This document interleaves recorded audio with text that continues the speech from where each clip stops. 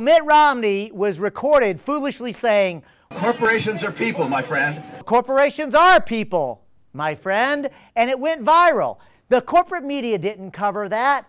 Ordinary people did. That night, that fellow put his smartphone recording on YouTube and sent it out, and it went viral, meaning that people forwarded it. This is the key, my friend. We've got to start learning to use this media. I just want to say right now the only reason you're even watching this right now is because the person behind the camera, who is Jeff and Grace, Grace and Jeff are the people's media. It's not corporate media. They're ordinary people who are actually using this medium for us to talk to each other because Grace and Jeff actually don't hate the media. They've become the media. We've got to learn to become the media ourselves and do what Jeff and Grace are doing. We've got to actually start to do this. So, quick question How many people here have a Facebook account? Be honest. Now, put your hands down because here's my follow up question. How many people here are willing to use your status update to say, I just joined www.movetoamend.org? You should too. If you're willing to do that, raise your hand. If everybody does that, we will talk to several hundred more people just like that. The genius of social media is we're learning to talk to each other apart from the corporate filter. Thanks, folks. I want to thank you all for being here. My name is David Cobb. I am a proud, I am a patriotic, and these days I'm a pissed off American citizen. I'm glad to see a little head nodding here, and I'm glad that we've got a little agreement here because I will also personally self identify as a political progressive. And frankly, as a political progressive, I think that we have made a mistake by allowing the Tea Party to claim some sort of monopoly on political anger. Because if you talk to a Tea Party supporter, if you talk, talk to a Tea Party adherent, just have a conversation with them, person to person. Just engage them. And I've done this, and you will find almost universally what they're angry about is the fact that Wall Street America and the big banks destroyed the economy of the United States. But what really gets their goat is that the American federal government then rewarded them with about a trillion dollars of our tax money. Well, you know what? I'm angry about that too, aren't you? Right? Progressives are angry about that, and we make a mistake if we allow the Tea Party to be the only place where that political anger is expressed. Because I'll go one deeper and tell you I'm also angry about the fact that one in six American families are living below the poverty level. And I don't hear that particular anger expressed at Tea Party rallies. I'm angry about the fact that between one in four and one in five American children go to bed hungry or undernourished in the richest country the world has ever seen, and I don't hear that anger expressed at Tea Party rallies. And I'm angry about the fact that the large transnational corporations are basically destroying the planet that we depend upon for life itself, causing a runaway global climate crisis, and creating a racist, sexist, and class oppressive world order with the plunder and I certainly don't hear that anger expressed at Tea Party rallies. And the anger that I'm describing right now, and the anger that I can tell so many of you share with me, that anger, may I say, is a righteous anger. And I use that word very carefully. It is a righteous anger. I'm the grandson of a Baptist preacher, and I use the word righteous with conviction, with clarity, and sincerity. That is a righteous anger because you see, righteous anger is a unique type of anger requires two things. First, you have to ask, what are you angry about? See, if you get angry because you just didn't get your way, that is not righteous by definition. You see, righteous anger must be provoked by oppression, injustice, unfairness. But I'll go even deeper and tell you that just because you get mad at injustice, unfairness, oppression, if all you do is then just sit and stew in it and wallow in it, that's not righteous either. You see, righteous anger requires action. Those are the two components. Are you angry about injustice and oppression? And then, does it propel you to act? That's what righteous anger means. And according to that definition, I'll tell you, it was righteous anger that fueled the abolitionist movement in this country. People were angry about a depraved institution like slavery. It was righteous anger that brought those women together at Seneca Falls to start the women's empowerment movement. They were angry at a patriarchal society and system, political and economic, that treated them like second class citizens. It was righteous anger that fueled the trade union movement in this country. Righteous anger was behind the civil rights movement. Righteous anger is a good thing. And Another interesting thing about righteous anger when you allow yourself to become angry at injustice and then it propels you to act for justice, for fairness, to correct the, the wrongs, you'll discover joy. It's an amazing thing how that works. When you actually will allow yourself to get involved in creating something more fair and more, more just, not only will it become joyful for you, but it will put you in contact with other people who are doing the same thing and will discover the best parts of our humanity. And it will actually remind us about what it feels like to be an actual community with other people outside of our isolation that is so often what the corporate media tries to instill upon us and cr to create amongst us. So righteous anger is a good thing. And I'll tell you this, I'm also a sad American because I can remember a time in my life that I was a proud and patriotic American with no other qualifier. And for me personally, that's when I was a little boy. When I was taught that I was from the United States of America, the land of the free and the home of the brave. But more importantly, I was taught that the United States of America stood for liberty and justice and equality. And I was so very proud of that. Not only that, I was taught that my country, the United States, was like some great shining light on the hill, and that we were going to guarantee liberty and justice and equality to the entire world. I was so proud to be from that country, and then I became angry because I grew up and realized I had been lied to. But you know what? I got it. That's a harsh word. So instead, let's say I grew up and realized I had been subjected to a creation myth. Because a lie is a harsh way to say it because I actually have a, a, a name, a face, a voice that I can associate that creation myth with. And for me personally, that voice, that name is Mrs. Armstrong. She was my fifth grade teacher. Are there any current, future, or former public teachers in this crowd? There always are. Can we get a round of applause for our public teachers? I'm serious about this. I always ask I always ask for a round of applause for public teachers in this presentation for two reasons. One, I don't think we give public teachers enough acknowledgement in this country. We certainly didn't pay you enough money. But the second reason I ask for that round of applause is in honor of Mrs. Armstrong. You see, Mrs. Armstrong didn't go to bed at night saying, ah, ah, ah, I can't wait till these little children come into my classroom so I can fill their mind full of lies and propaganda about this country. No. Mrs. Armstrong was a public school teacher. And like every public school teacher I've ever met, she became a teacher because she wanted to nurture children. She wanted to help create children to become productive members of their society. She actually felt like teaching was a noble profession. You see, Mrs. Armstrong taught that creation myth because she believed it.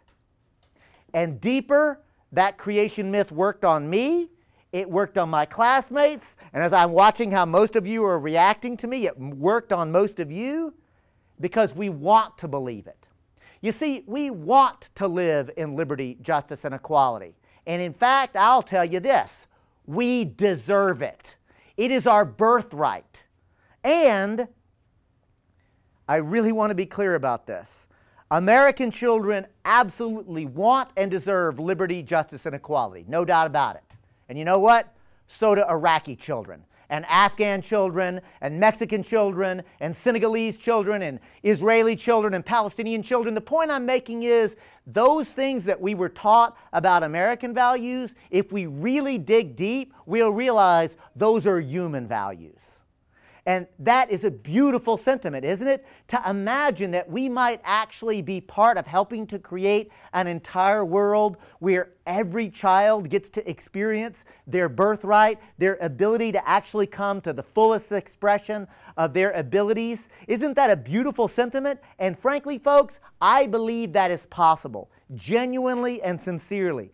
This generation of humans might be the first time where we have the technology, available to us. We have a worldwide movement that is actually in the beginning stages. Think of it as a democracy movement. And frankly, take a look at what's happening in the Middle East or North Africa or Latin America, and we see a genuine democracy movement bubbling up. And I'll tell you this, folks, frankly, as North Americans, we ought to have a little more humility and recognize that we're actually sort of late to the game in terms of actually thinking about how a functioning democracy might actually operate.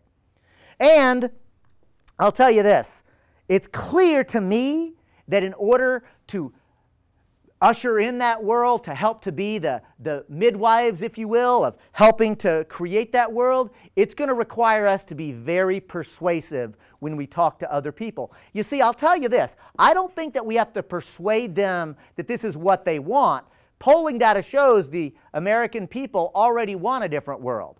What we have to do is be persuasive that it's possible which is a different kind of persuasion. But it's still persuasion. And because I want to try to be persuasive, I think it's important to recognize and, and, acknowledge something that I knew intuitively as a trial lawyer, and now scientists are proving objectively and without a doubt. And that is if you want to be persuasive, facts don't matter so much.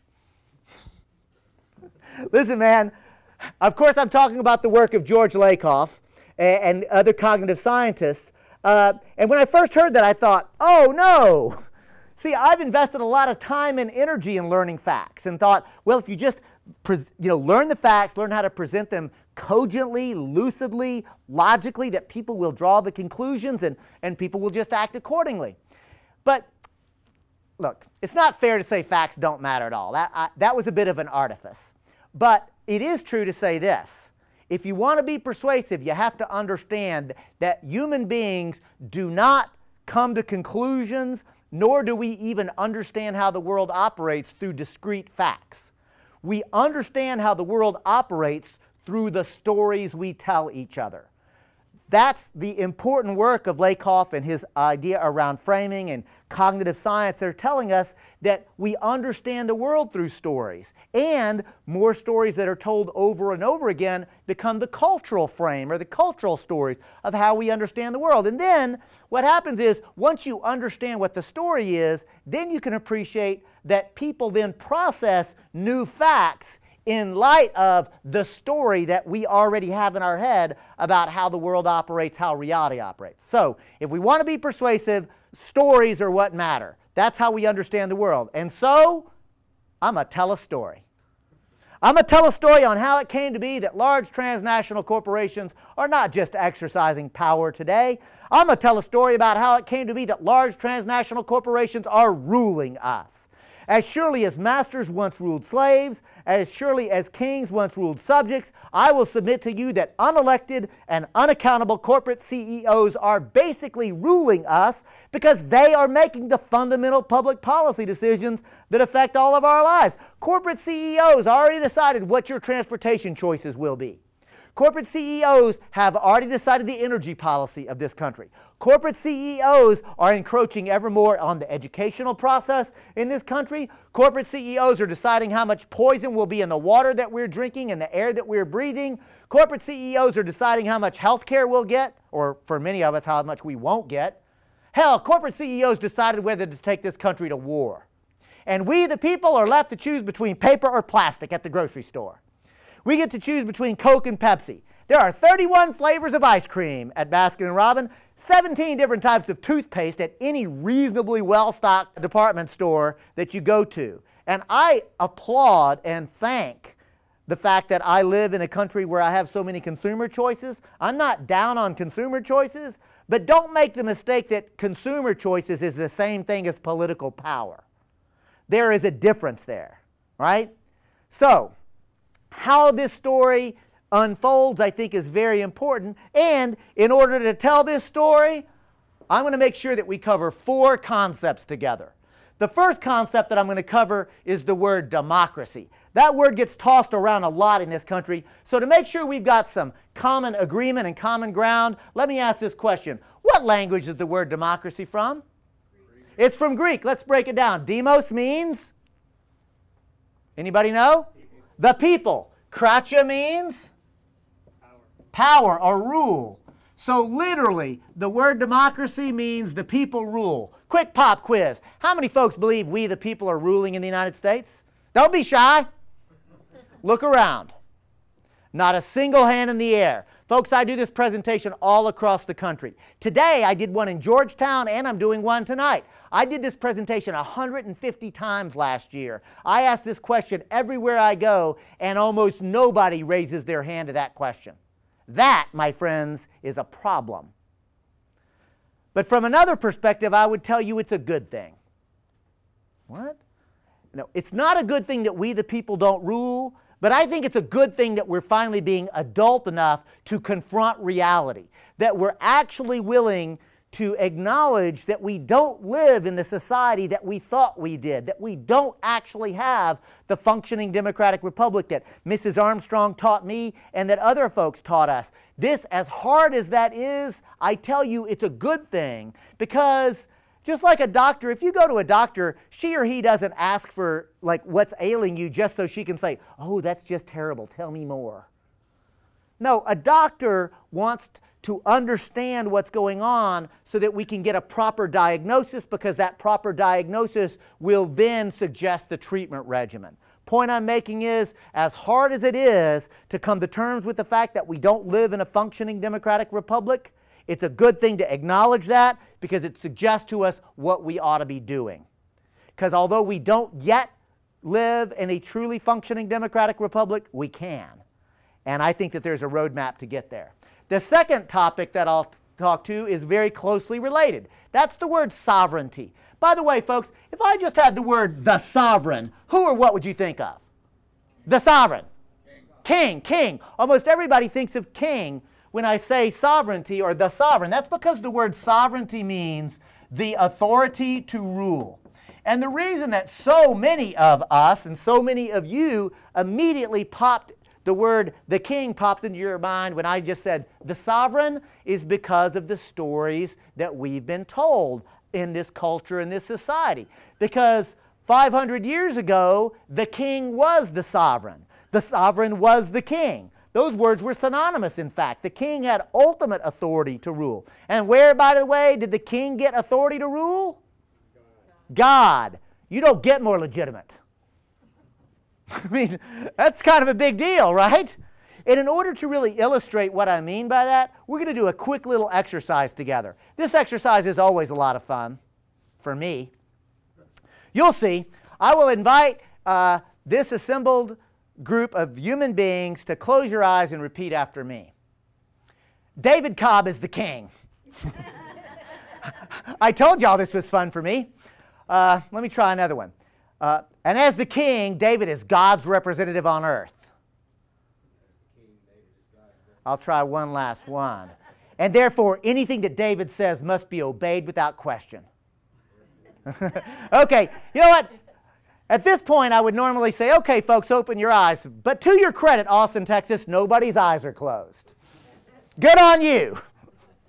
But I will make this second observation, and that is you did what every other crowd does. As soon as you realized what I was asking you to say, your eyes popped open and you all laughed at me.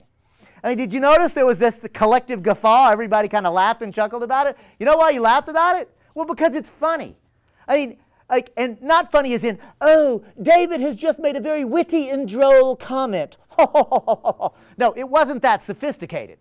I mean, any comedian would tell you that this is absurd humor. I said something so absurd, so ridiculous, that the only appropriate response for you to was to laugh at it. I mean, for me to say to this fella how to live your life because who my parents are, that is absurd. Of course you laughed at it. Or even better, that I get to say how all of society is going to be organized and functioning because of the divine right of kings. Of course you laughed at that. That's hilarious. It's beyond absurd. And 500 years ago, human beings just like you and you and me and you not only said it, but we believed it. I want you to take a moment and recognize that sovereignty or who gets to make the decisions about how we organize ourselves is maybe one of the fundamental decisions that a people make for themselves. As a sociologist, Mike, I think you'll appreciate that, right? That's one of the first principal kinds of questions that any society makes, right? Who gets the authority to rule? What are the mechanisms to make it? What is the authority to make those rules? Let me tell you something, folks. I am a Green Party member. Many of you know that. I'm proud of that. I'm equally proud to say I work very closely with progressive Democrats. In fact, I brought the progressive Democrats and the Coffee Party into the Move to Amend coalition. I'm very proud of that. I'm equally proud to tell you that I have a long history of working with Republicans and libertarians, especially on civil liberties issues. Frequently, those are my best allies. So I've got a history of working with them. I also have a history of working with anarchists and socialists. If I can find common ground with somebody to work on something, I will do so. I tell you that not so you'll pat me on the head. I say that so you'll appreciate what I mean when I say, in my 25 years of social change efforts, I haven't had the privilege or the opportunity to work in coalition with a monarchist. and 500 years ago, that's all there were. And 500 years is the blink of an eye in human history. And so when people tell me, oh, we can't amend the Constitution, it's too hard. We can't do that. I think, have you not been paying attention? The kind of profound change that has been made in human society, not only in world history, but in U.S. history, is very significant. Because let me tell you something, folks. If enough people think that something is true and enough people act like it's true, it's true. And so, if it is true that this is a racist, sexist, and class oppressive society, and it is, then maybe we ought to start thinking differently and start to act differently. Maybe we ought to actually act like we really believe that we're in a crisis moment because we are in a crisis moment. And it's going to require us to start to think bigger and bolder. And may I say, it's going to require us to actually have the courage to imagine living in the world that we actually want to live in. Because frankly, the biggest censor in the United States today is not the federal government. The biggest censor is not even corporate media. We are the biggest censors. We censor ourselves constantly about what is possible, about what is able to be done. And we end up asking for less and less and less and less because we're not actually willing to believe that we have the capacity to actually make changes. And let me tell you something, folks. I believe we, the people, are more powerful than we dare to imagine. We've got so much power, but we're not exercising it. That will take me actually to my next concept, which is the, the phrase legal personhood. Please note that I did not write corporate personhood on the board, but instead legal personhood. That's because I want us to understand that legal personhood, in a nutshell, means the ability to assert rights. And when we're talking about legal personhood, we mean the ability to assert rights under law. And when we say it that way, isn't it obvious that the question of who is a legal person with rights under law has been one of the fundamental political struggles in this country. From the very inception of this country, this has been one of, like, the thing that was fought over the hardest and the most. Legal personhood matters, and it matters a great deal. And this will bring us to the last concept, and that's the word corporation. Because I think that the word corporation is equally important, I will ask the same question about this word that I did about democracy. What language is the word corporation from? It's from Latin. Let's break it down. Corpus means body. And now for extra credit point, any Latin scholars, can you tell me what the suffix T-I-O-N means in Latin? It means the state of or the quality of. So, literally, the word corporation, just translating it, would mean to have or create body. And in this case, I mean literally physical body. And that's because we are taught in law school. By the way, are there any lawyers in the crowd besides me that would admit it? I got one hand, and then I got the sister who's doing like this. Fair enough. But you, so you went to law school. Yes. Went to law school. So do y'all remember, my brother and sister at the bar, do y'all remember being taught that a corporation is a legal fiction? Yep, of course. Both of them saying, yes, absolutely. Every lawyer that I talk to will remember that. In fact, that is so commonly understood that even if you weren't subjected to the law school experience, if you've heard that a corporation is a legal fiction, even if you couldn't exactly precisely define what it means, if you've just heard that a corporation is a legal fiction, raise your hand. Look at all those hands go up. So a corporation is legal fiction. It's a legal fiction. It's a legal fiction. That begs the question what does the word fiction mean? Made up. Made up, not real. Literally, we are taught in law school that a corporation doesn't exist in the physical world. However, we will pretend like this group of people and the material and the resources and the contractual obligations and the, and the concepts, we'll pretend like this is one thing so we can treat it a certain way under law. And remember, if enough people think that something is true, if enough people act like it's true, it's true. poof, we can create a corporation. The point I'm making, a corporation is a construct. It is literally a construct. It doesn't exist in the physical world but we can pretend like it does in order to do certain things. And the word corporation is from Latin because the first corporations ever created by the genius of human creativity were created during the Roman Republic. Not, by the way, during the Roman Empire. And sometimes I wish we spent more time asking ourselves, what happens when a republic devolves into an empire? Because that might be an important conversation in the United States. Just saying. Or as the great Texas comedian Bill Hicks would say, just planting seeds. Just, just planting seeds for later. But the point is, the corporation was created by the Romans for a reason, and that reason was to do things. For example, y'all heard the phrase, all roads lead to Rome? Here it is, 2,000 years later, we still say that. All roads lead to Rome. Check it out. That road system was imagined, built, and maintained as a Roman corporation. Likewise, the aqueduct system, that amazing bit of engineering that moved water all across the Italian peninsula, was conceived of, built, maintained as a Roman corporation. And I think that's especially important to recognize that this aqueduct system did it without electricity.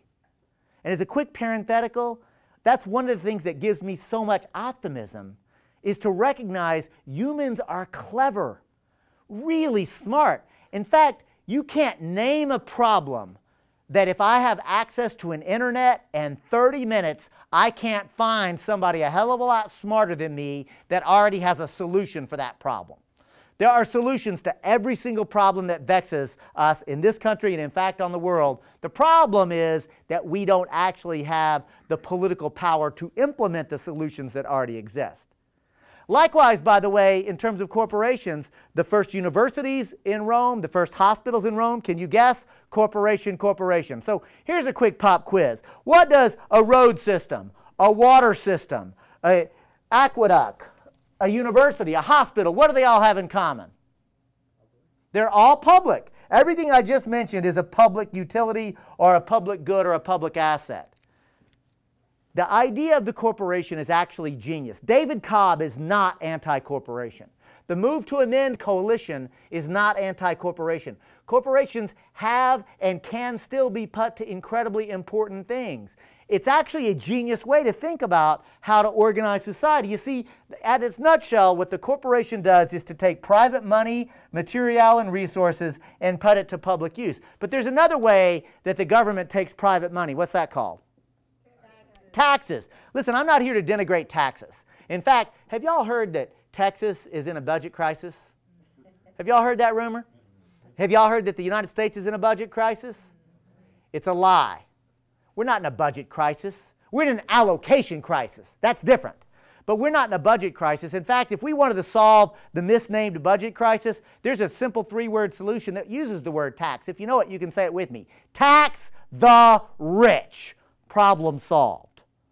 So I don't think taxes are a bad thing, but I do think that it's important to recognize when the tax person shows up, she or he doesn't say, hey, it's tax time, would you be willing to pay a little bit?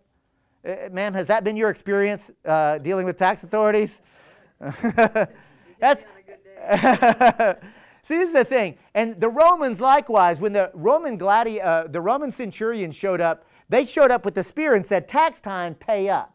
See, taxes are mandatory, they're required. The genius of the idea of the corporation was to take private money, material, and resources, organize it on a voluntary basis, and put it to some public use. For example, if I were to say, hey, I've got this really great idea, would you please make a donation to me and this group of people who are doing this thing so that we can do some public good? In modern terms, we would think of that as a nonprofit corporation. Or if I say, I've got a great idea, it's going to be very successful, a lot of people are going to want to do this, uh, but if you will invest some money, I will return your investment. That would be a for profit corporation. But the point is, under both of those scenarios, I'm not compelling either one of you. I'm not requiring either one of you. I'm trying to convince and persuade you. At the end of the day, I want to underscore again the idea of the corporation is a good idea. So, move to amend is not anti corporation. But let's also acknowledge that. This is not exactly how the modern transnational corporation operates, is it? That's because the modern transnational corporation actually doesn't come out of this framework. The modern transnational corporation actually comes out of the 14th, 15th, and 16th century of Europe. You know, the age of discovery. I have to put the word discovery in quotation marks, right? Because what did the Europeans discover in the 14th and 15th century? Well, specifically Africa, Asia, later North and South America. As the gentleman points out, what's your name, sir? Ken. As Ken points out, here's a news flash. There were people living there. They weren't lost. they didn't need to be discovered. And so, in the same interest and the same conviction of being courageous and honest, let's just be honest. The 14th and 15th century of Europe isn't the age of discovery at all. It's the age of rape and pillage and plunder and murder and exploitation. For me, there's one word that sums it up. That's imperialism. And that's what empire means. It means beating people down and stealing their resources and making it your own. And get this the modern transnational corporation wasn't just accidentally created during this time period. The modern transnational corporation, or the joint stock company, was intentionally and deliberately created as an instrument of empire. In fact, one of the most famous of those early joint stock companies was known as the East India Company, literally designed to facilitate the military conquest and conquering of the entire subcontinent of India, right? And not only that, not only to destroy those people's military defenses, but also to destroy their existing institutions that had heretofore been meeting their needs and replace them with new institutions. To literally force those people to reorganize their society so they were helping to facilitate the theft of their own resources so that they could be sent to the shareholders of the joint stock company of the East India Company.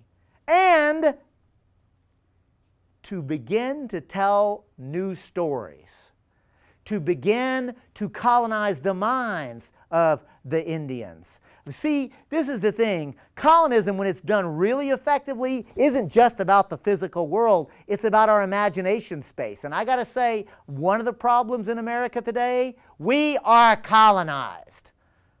And I don't mean just those people who are watching television or the Super Bowl or what have you. I mean all of us. I mean me. I mean, we are subjected to a kind of col colonial process every day. Another of the early joint stock companies, by the way, was a little outfit known as the Africa Trading Company. Would anybody like to guess what the Africa Trading Company traded? You know, thank you. I heard a couple of different words there, and I'm going to use myself as an example because I think it's important that we be courageous, and I think it's especially important that white people be willing to talk like this because I'm going to acknowledge that if I'm just being, even though I ask the question, and I ask this question every day, right? But if I'm, uh, if I'm being casual, if I'm sort of not really thinking very, very, very hard and sharp, I'll promise you, honestly, the word that usually pops into my mind, the Africa Trading Company traded slaves. That's the word that just pops into my mind. I don't think it makes me a bad person, right? I'm not, it, it, but it makes me a colonized person because I've been taught about the African slave trade and Harriet Tubman is the hero of the runaway slaves. And, you know, I've, I've heard all those kind of stories. But since I've made a big deal about that particular word, here's my follow up question. At this time period that the Africa Trading Company existed, was Africa populated by slaves? No, Africa was populated by people, human beings, right? And may I say, Africa was populated by people who were basically just like me. And I say that with full awareness of my pigment. I'm not stupid. I know I'm white. But I say Africa was populated by people out of conviction because if you ask any scientist, if you ask any biologist, she or he will tell you race does not exist. Sure, skin pigment exists, ethnicity exists, but no scientist, no biologist would elevate those to a taxonomy or a classification. So, without a doubt, under science, race does not exist. But check this out racism damn sure does. How can that possibly be? Well, remember, if enough people think that something is true, if enough people act like it's true, it's true. poof, race is a construct just as surely as the corporation is a construct. It gets created. We don't normally think about these things, but if we start asking the first principles kinds of questions, they become very illuminative. They, they help us understand the world. And I'm not going to tell you that the corporations created slavery because slavery pre existed this time period, but that slavery was a little bit different. In fact, I'll use this gentleman as an example. Sir, what's your first name? Paul. Paul. I'll use Paul as an example. Let's say that Paul and David live in different tribes, and there's a river that separates Paul's tribe from David's tribe. And my tribe goes to war against Paul's tribe, and David's tribe wins the war against Paul's tribe. And uh, by the way, why do y'all think David's tribe might win this war? Why do y'all think my tribe might win? What are some reasons? You're telling the story. ah, nicely done. Nicely done. You see how important stories are? Unfortunately for you, Paul, I am telling the story. So my tribe wins the war. I put my spear against Paul's throat and I say, Paul, you're my slave. Let me ask y'all, what's the intellectual justification for David to enslave Paul? Might, the sword, nothing more. The point I'm making is to consider this. During the age and the beginning of the age of enlightenment, it became necessary to have philosophical, intellectual justification for institutions and such. And so the construct of race got created in order to attempt to justify the enslavement of an entire group of people over something as trivial as pigment. Yes, it's stupid. Yes, it's outrageous. But that was actually part of it. The point I'm making is that racism, imperialism, and corporatism are actually historically inextricably intertwined. And I'm not the first American to say that, because what combines them is, at its nutshell, oppression and exploitation.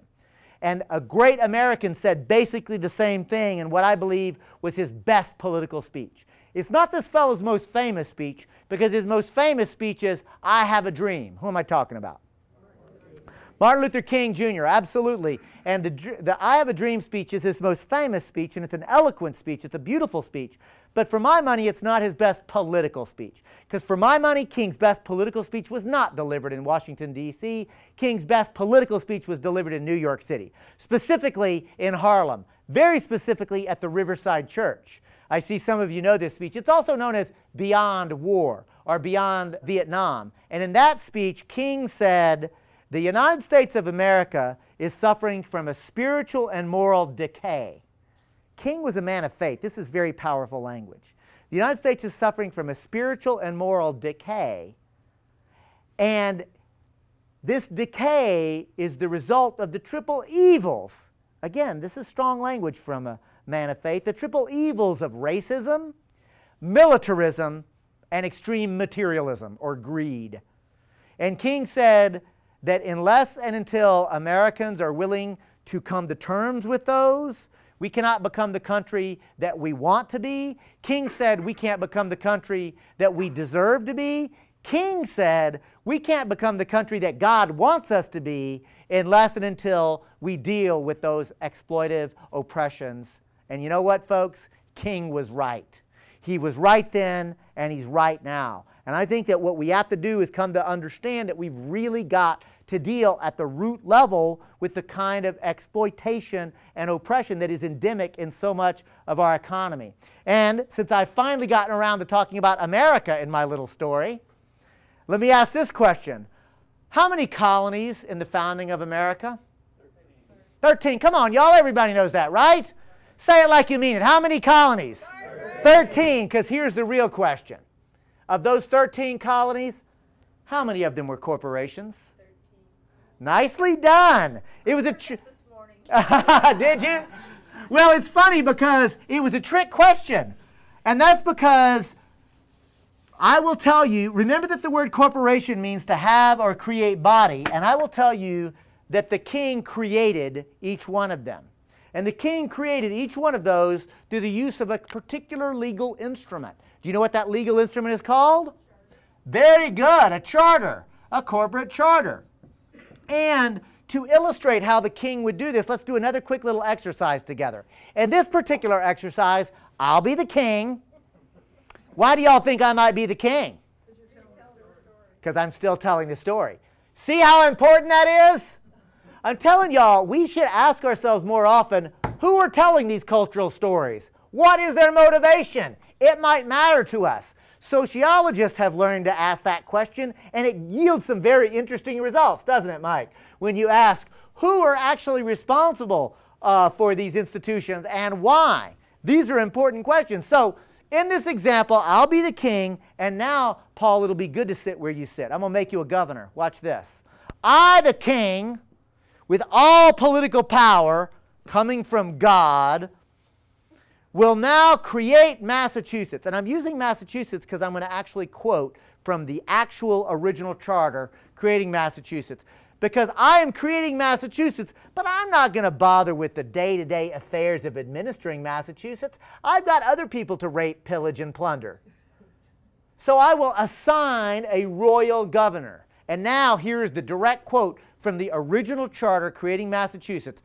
That I, the king, assign a royal governor and task the royal governor with the responsibility to plant, to rule, and to govern this new area known as uh, to plant, rule, and govern this area to benefit me, the king, and to benefit the shareholders of the joint stock company known as the Massachusetts Bay Trading Company. Massachusetts began as a for profit corporation just like the East India Company did. So did the Providence and Rhode Island Plantation. Virginia was the Virginia Company. Almost every one of them were originally for profit corporations to benefit shareholders. Hell, Georgia was a penal corporation. Quick parenthetical do you know what skin color or pigment most of the original slaves had who worked that plantation? They were white. I'm telling you, if we start to really understand race and understand race in terms of economics and a ruling elite, it's a very interesting thing.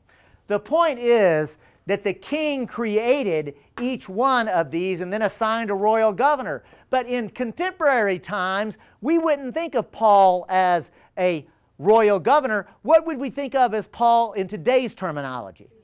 A CEO, a chief executive officer. The point I'm making, folks, is the one way to tell the American story is not just as a rejection of monarchy as a form of rule. Yes, it was that. You know what else it was? a people's uprising against corporate rule. The Boston Tea Party, somebody should tell the Tea Party supporters, was actually a people's uprising against corporations. Oh, and by the way, did the, the during the, the Boston Tea Party, did they throw all the tea into the harbor? No. There was only one corporation's tea who went in. India. The East India Company. I wonder if that matters. You know, I mean, it's kind of astounding to me, but again, stories matter, and that's a very effective story. But if we learn to tell that story just with, this is actually all factually true, but if we learn how to tell that story with just a little bit of spin, it becomes a much different story, doesn't it? I think this is part of what I'm getting at. We need to learn to tell these stories. And by the way, another way to say this is the American revolutionaries were not calling for a more socially responsible king. So maybe today we can do more than just ask for more socially responsible corporations. Or as Phil said, at the very least, let's never say, let's ask corporations to be good citizens. Corporations are not citizens by definition. And I think it's important to say those people who would become revolutionaries only 10 years before the revolution actually erupted, those same people were writing letters to the king that went something like this Oh, Father King, we, your humble children, come before you on bended knee to ask that you intervene on our behalf because your royal governor is administering unfair laws. It wasn't taxation without representation. That was actually a minor complaint. The real complaint unfair business and trade laws that the English Parliament have written that are unfairly advantaging the East India monopoly over us. Quick parenthetical question What percentage of those members of the English Parliament writing those laws do you think own shares in the East India Company? 100%. I wonder if that matters. Oh, Father King, would you please intervene on our behalf and protect us, your obedient and humble children? It was literally that sniveling, that groveling. And I don't know about you, but I'm very interested in asking myself what happened in that 10 year period? What stories were they telling themselves that in one decade completely changed their mind frame? And they stopped begging and pleading and groveling and boot kissing and instead got up off their knees and stood up and stood up straight, stood up tall, put their shoulders back, their chin up, and looked directly at the king, you know, the king who claimed cultural authority from God. And behind the king saw the most powerful military the world had ever assembled and said, You're done, get out, we're doing it different now. Because let me tell you something, folks. That process that I've just described to you, that process is magic. And I'm very clear about this. That is a magical thing. That is a beautiful thing. That's our legacy as Americans. And may I say, if one person stands up against injustice, oppression, unfairness, that is a courageous thing. It deserves our appreciation, our, our applause, but it's not magic. Because the magic can only happen if one person stands up and somebody to her left stands up and somebody to her right stands up, and you have an actual collective standing up. That's where the magic happens. And at this point, may I just say, may the goddess bless the Occupy movement. Occupy is magic, folks, because it is actually challenging us to collectively stand up together. Because Occupy is not just challenging us to occupy public space, it's deeper. The Occupy movement invites us challenges us, dares us to occupy our own imagination space, to be willing to imagine what might it look like to live in a completely different society, one that actually gets our needs met and actually reflects the best principles and values of this country. I just think that's an amazing kind of way to look at it. And because we know that the king actually gets thrown out and a new charter gets written for this country. This charter is actually the legal instrument to describe how the country operates. What's that charter called? The U.S. Constitution. How many people here have read the U.S. Constitution? Be honest. All those hands go up. So y'all grade my papers, okay? See if I get this more or less right. I will tell you when you look at the U.S. Constitution, there will be two actors. See, don't just read the words on the page. Do like my mama taught me to do. Step back from the tapestry. Look at the whole pattern. Look at everything. And what you'll see is two principal actors. The first actor in the U.S. Constitution is clearly the most important one. In fact, it's so important, it's the first three words. Folks, all I ever have to do is put my hand to my ears and folks say in unison, as you have done, we the people. That's because we the people are hallowed words we the people come together to create the second actor, which is government itself. I want to stop for a moment and really underscore that means we the people create government. The government is dependent upon us. Government is a construct too. Government doesn't pre exist us, government is utterly and completely dependent upon we the people. That is a very powerful idea. We the people in this document are described as being free and sovereign. What does the word sovereign mean again? The authority to rule. We, the people, are claiming the authority to rule. The king's not sovereign anymore. We kicked his butt out. And honestly, government isn't sovereign either. In fact, to the contrary, government is subordinate and accountable. Government is subordinate to whom? no, this is how it's supposed to operate. Y'all are getting ahead. Government is supposed to be subordinate to we the people. Government is supposed to be accountable to we the people. You see, We, the people, are described and understood as having rights. Government does not have rights, government only has duties. I want to stop for a moment as a lawyer and tell you that the difference between rights and duties in this, in this concept is profound. You see, if I have the right to do something, it means I can do it. I don't need the city of Austin's permission. I don't need the Texas state legislature's permission. I don't need the federal government's permission. If I, man, I'm from Texas. I don't need my mama's permission. Well, I if you know my mama, I do, but I don't legally need her permission.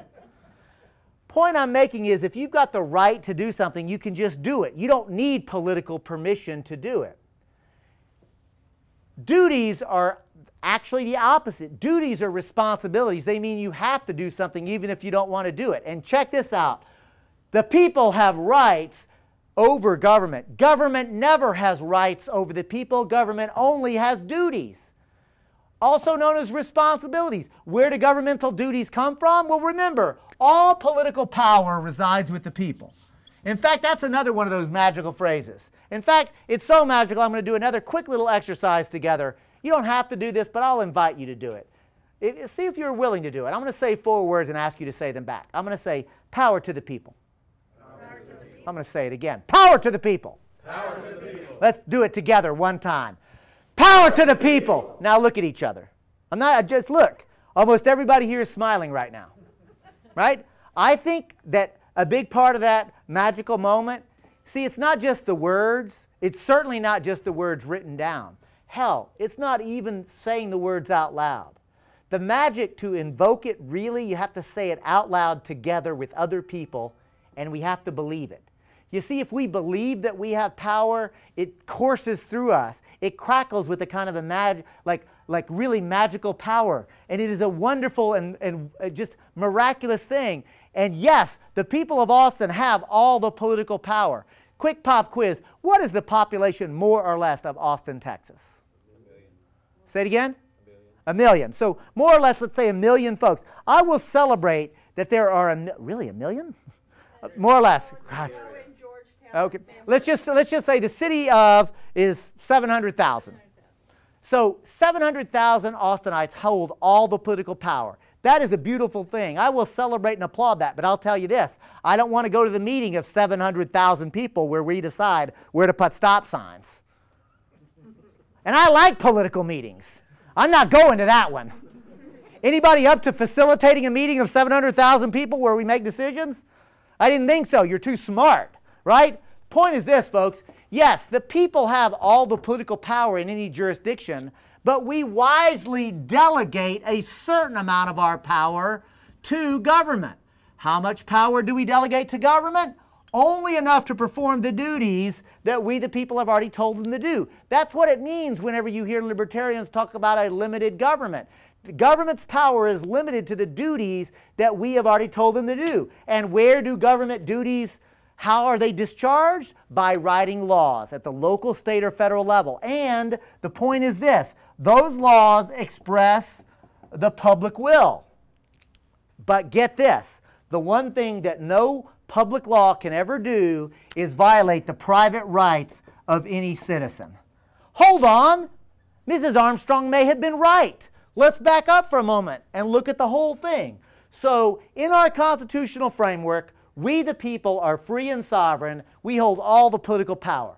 But we delegate a certain amount of our power to the construct of government that we create. Government that will be subordinate and accountable to the people. Government has certain duties responsibilities that they will discharge by writing laws in the public interest. But the one thing that no public law can ever do is to violate the private rights of any of the persons who live within this jurisdiction. Isn't that brilliant, actually? Our civil liberties are protected, but we also have a communitarian way where we make public decisions. Isn't that beautiful? Isn't that brilliant? We should try that in this country. this would work. And I'm not joking. This is beautiful. And I'm also not joking. This would work. And I'm also not joking that we've never actually experienced it. Because before I go one second further, waxing poetic about how beautiful and brilliant the U.S. Constitution is, time out. Somebody tell me what year the Constitution gets ratified and becomes the supreme law of the land.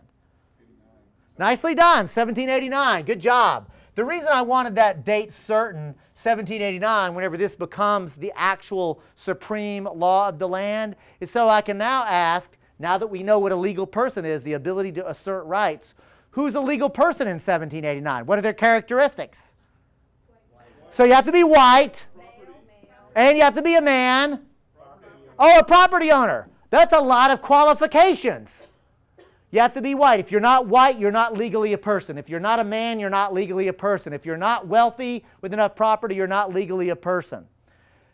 Another way to say this, folks, is that for all the beautiful framework that we've been taught in its application, this is a founding violence against the indigenous people who were already here and were subject to intentional, deliberate genocide.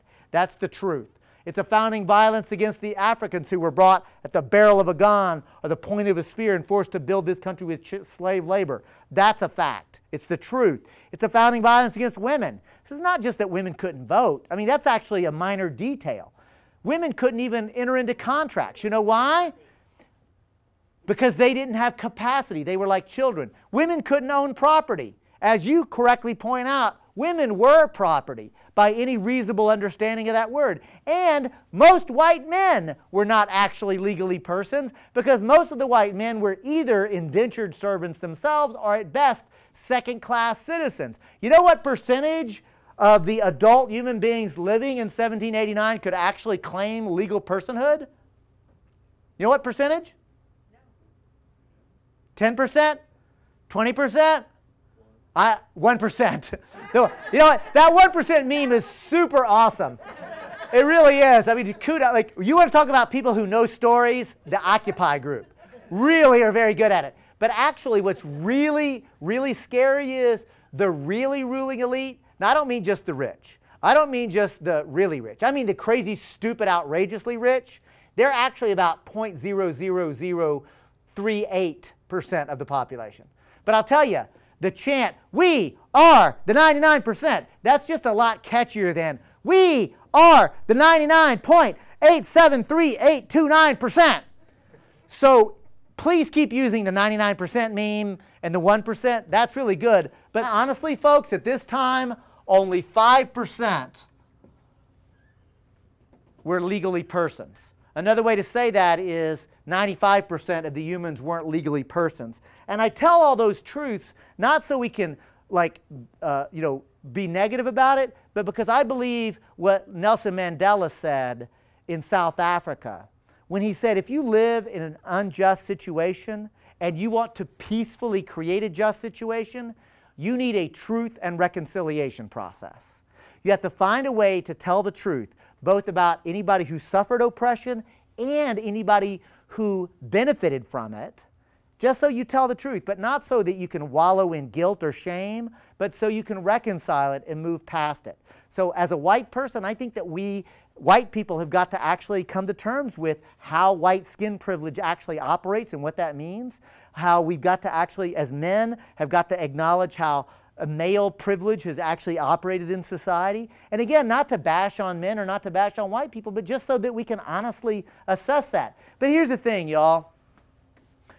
Now, some people might look at this and say, all right, Cobb, you got a scathing indictment about imperialism of 500 years ago, but hey, man, today we got rid of slavery. Women can vote. It's all good.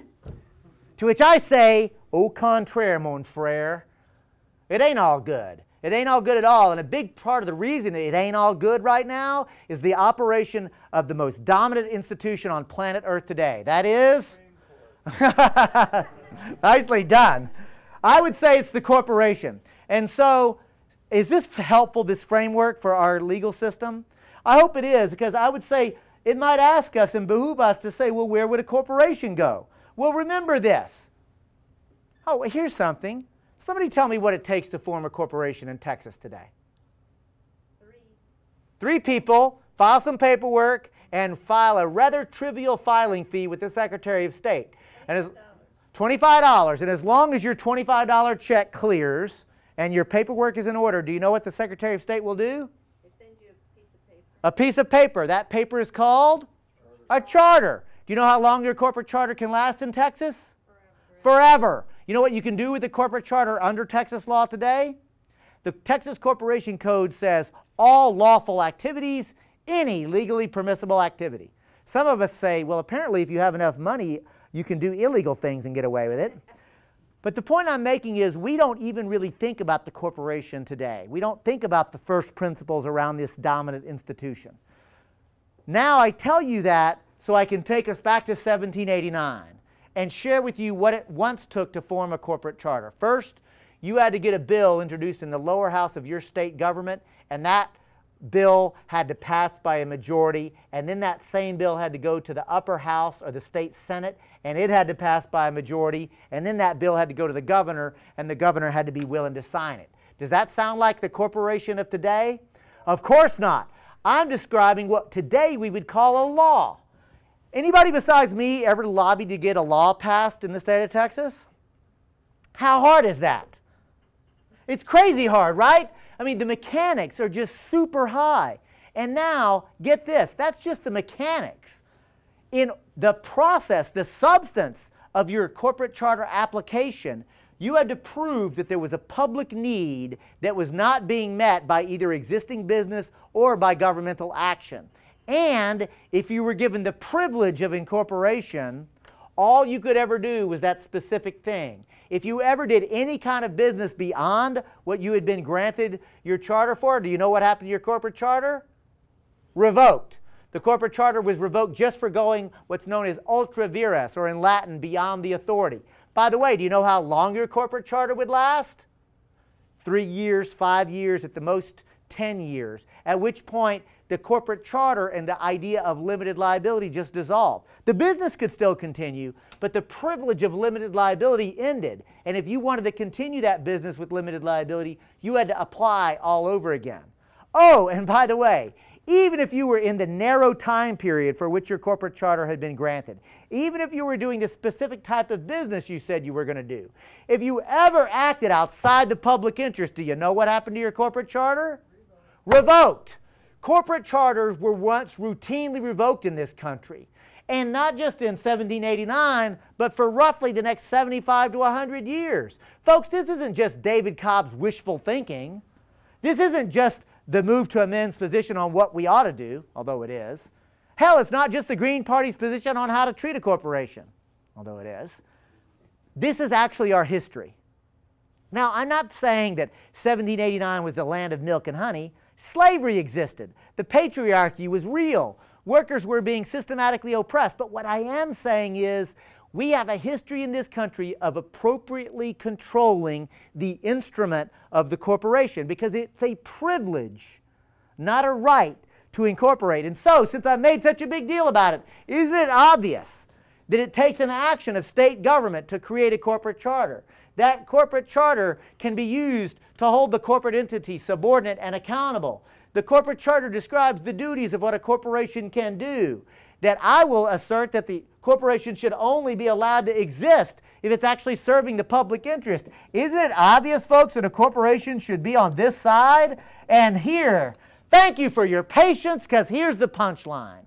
When the U.S. Supreme Court, in an act of supreme judicial activism, take that right wing court, says, oh no, we're going to just create the idea. Even though the word the corporation is never used in our Constitution, five people on the Supreme Court are going to tell us we, 315 million of us, have to treat a corporation as if it's a person with constitutional rights. And that perverts this whole framework. See, corporate personhood is not just an illogical idea, which it is.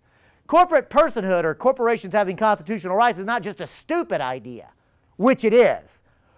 Corporate constitutional rights is a linchpin for how the ruling elite have hijacked our ability to govern ourselves. And as a lawyer, what chaps my hide, what really makes me angry and is an assault to me is that they use our legal system to justify it. because I was taught that the legal system was where you go for justice and that justice is blind. She does not care what skin color you have. Justice does not care how much money you have or whether you're a man or a woman. We are taught and trained to believe that justice will be served. And what is wrong is the fact that the courts have created out of whole cloth a legal doctrine not just to steal our authority to govern ourselves, but to legalize the theft. Well, I say, ya basta. Enough already. It's time for us to raise up in a movement the way the American revolutionaries did, the way the women's suffrage movement did, the way the trade union movement did, the way the civil rights movement did. We need a movement today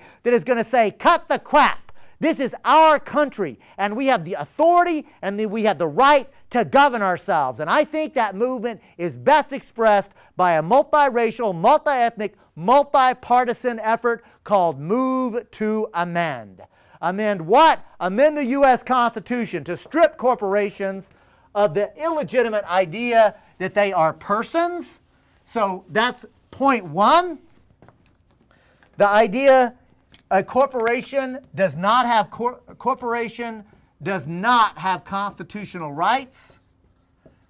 But it doesn't end there. I don't want to do all the work of stripping corporations from constitutional rights only be told, oh, however, but the Koch brothers, or for that matter, the so- George Soros or other wealthy people, can still spend unlimited amounts of money in our elections. So I also, and we at Move to Amend also say, point two, we need to abolish the idea that money equals speech. We have the authority to make meaningful campaign finance laws to protect the integrity of our elections. Saying it this way, isn't this is also known as the well duh movement. right? But it's kind of important because if we don't do this, I'll tell you, we can't do anything that we need to do. Because environmental protection laws get overturned, public health and public safety laws get overturned, campaign finance laws get overturned. We've got to actually build a movement that actually does this. And I'm very happy to tell you that here in Austin, y'all are on the verge of being able to be the first city to join over 100 other cities that have already endorsed the Move to Amend effort. Not a single Texas city has done this yet. We've done this resolution in over 100 communities already. This is a winner, y'all. This is something that cuts across political ideology, it cuts across uh, party affiliation. This is a winner, and we can do this in Texas as well. And as a political progressive, progressive, what also excites me is we can actually start to use this to expose the hypocrisy of the corporate right wingers who are using a language that is illegitimate and inappropriate because, frankly, most registered Republicans disagree with this idea. And they're currently letting their leadership get away with it. So the question was what, do, what is my reaction or response when people say, yeah, but corporations are just people, and therefore they, uh, that corporations have rights? What I say is, I quote the great liberal Supreme Court Justice William Rehnquist. For those of you who know, I will appreciate the humor there. Of course, the great Republican theorist William Rehnquist, who said, corporations have great import in economics, but to ascribe to them the characteristics of being a human is to confuse metaphor with reality. In other words, yes, it's true that people come together in a corporation, but because people have come together, they haven't created one new being, one new entity it's a, it, it is a confusion. My rights are my rights as an individual, and I, government cannot infringe upon my rights. But just because we have come together, or I may come together to form a corporation under state law, doesn't now give this new entity inherent and alienable constitutional rights. And depending on who I'm talking to, ma'am, I might even point out that to do so actually violates the, the philosophical and, uh, and ethical idea that only God can endow his creation with inherent and inalienable rights. Individually, my civil liberties exist because I'm a human being. They are inherent and inalienable. but I don't have an inherent and inalienable right to limited liability.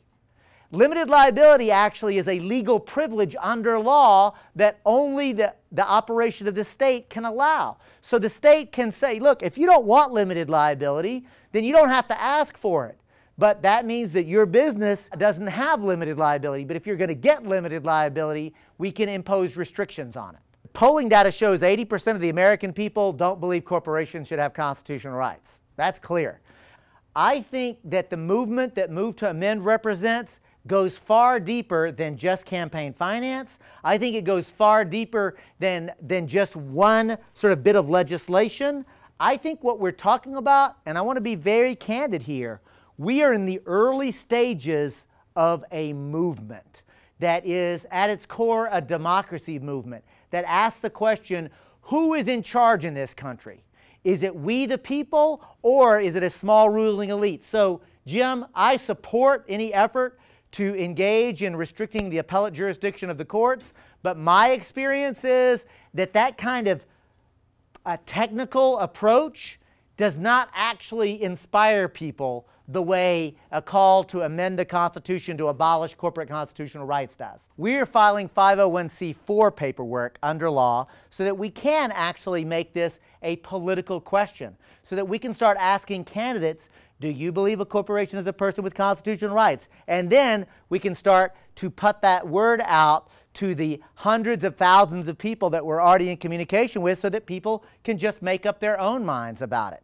Because and we are not there yet, quite bluntly, but we will be very soon. And that's the reason that it's so important to collectively politically organize ourselves and frankly just acknowledge that the corporate media is not going to cover this movement. They are part of the problem.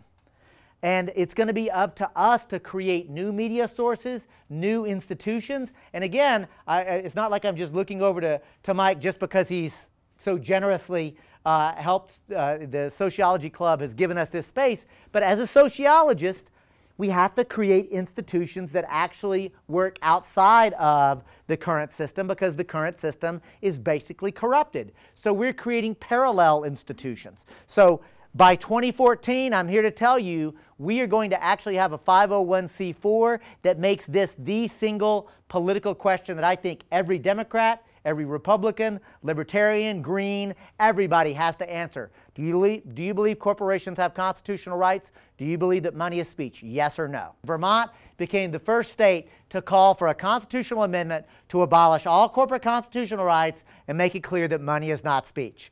Go, Vermont, go. In addition, we've got uh, support from the state of Connecticut. We just got support from New Mexico, uh, Hawaii.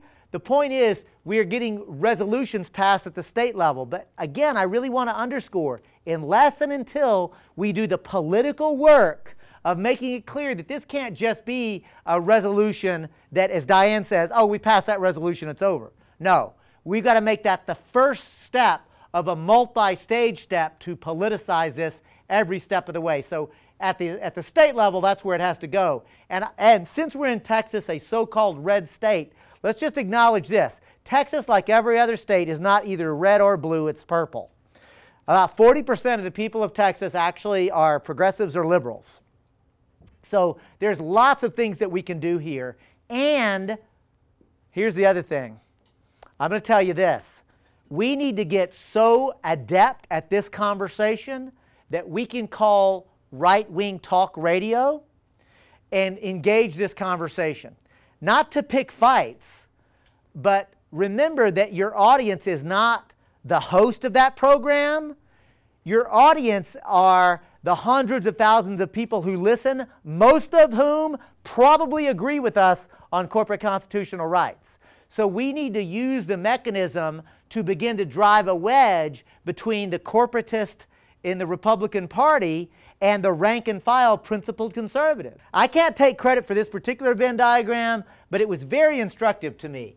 This is a Venn diagram where we ask ourselves about the two big movements that are happening in this country. The first big movement that I want to talk about is the Tea Party. That, what is the Tea Party angry about? I already talked to you about that. They're angry about government, right? And the second big group that I want to talk about is Occupy.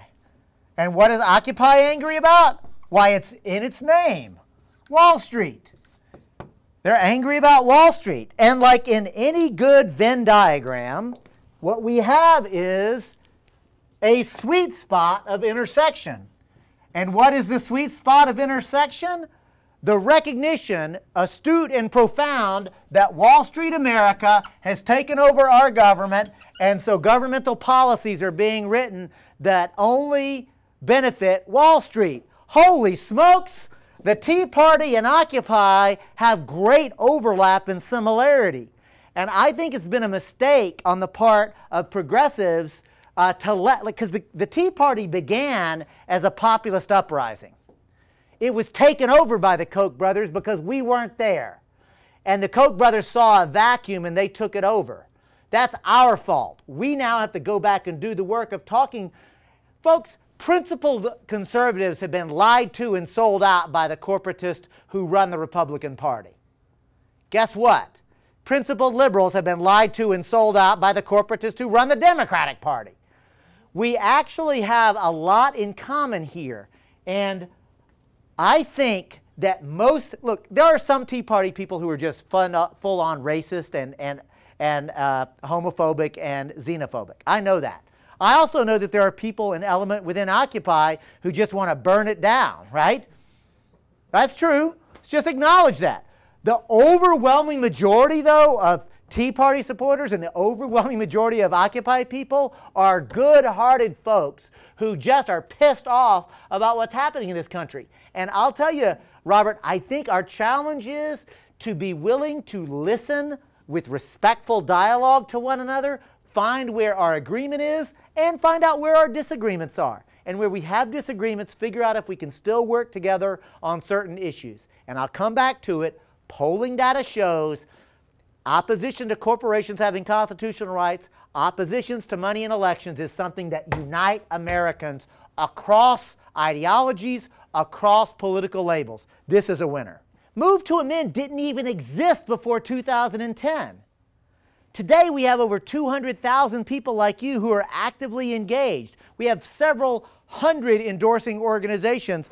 The Coffee Party is at the national leadership level, but we've got hundreds of others that we're partnering with. The Sierra Club, who wouldn't touch this just two years ago, is now on board with us. You know, Diane, I thank you for bringing that up. You know, the great Texas politician Sam Rayburn once said, As an elected official, when I feel the heat, I always see the light.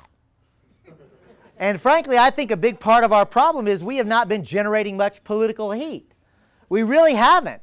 We've been very lackadaisical, and I think it's time for us to rediscover our political power and actually raise a little hell and uh, show people that, show our elected officials that we care about this. And do you know that in the Republican primary, eight people contributed over 80% of the money that was spent?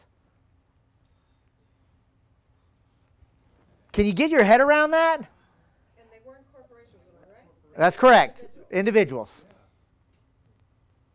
So it's not just corporate personhood, it's money is speech. I'm going to quote Howard Zinn, the late great historian Howard Zinn. Just before he passed away, he, he signed on a support letter for Move to Amend. And what he said was, many liberals will go apoplectic about this decision, decrying that, oh no, quote, oh no, this is his words, quote, oh no, the ruling elite have stolen our elections, end quote.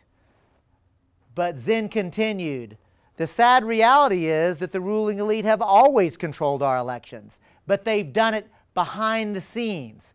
Citizens United just exposes it.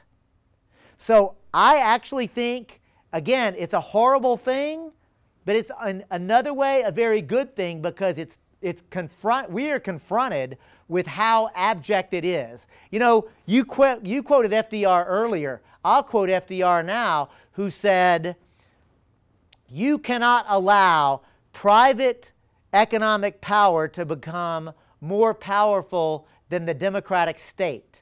That is, in essence, fascism. Just as Benito Mussolini said, fascism should be more appropriately called corporatism because it merges the economic might of our corporations with the national might of our military. And Mussolini thought it was a good thing. Remember, he was for fascism. So, frankly, folks, I think it's about time that we were willing to tell the truth and say in polite company the F word more often. We have a growing, creeping fascism in this country that is both economic as well as an assault on civil liberties that is taking place. And we're going to have to do something about it. You've got to start organizing in your local community. In my community, Humboldt County, California, we already have elected officials who are keenly aware that we have organized people and they are reacting to us because we've organized political power.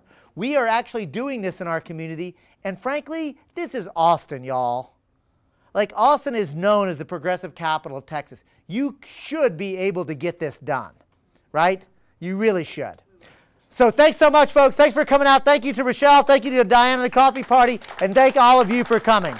Thanks, Grace. Thanks, Jeff, for coming out. Peace.